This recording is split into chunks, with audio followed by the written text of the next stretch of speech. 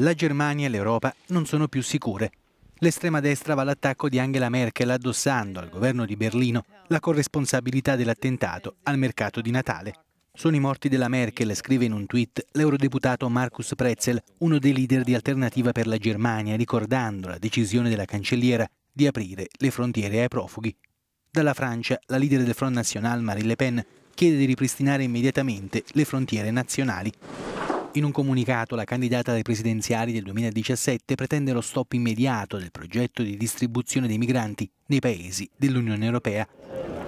Il leader ultranazionalista dei Paesi Bassi, Gert Wilders, favorito alle prossime elezioni politiche, propone un fotomontaggio della Merkel con le mani e il viso sporchi di sangue la strage di Berlino non è una sorpresa per il campione della Brexit Nigel Farage, ma è l'eredità della cancelliera tedesca.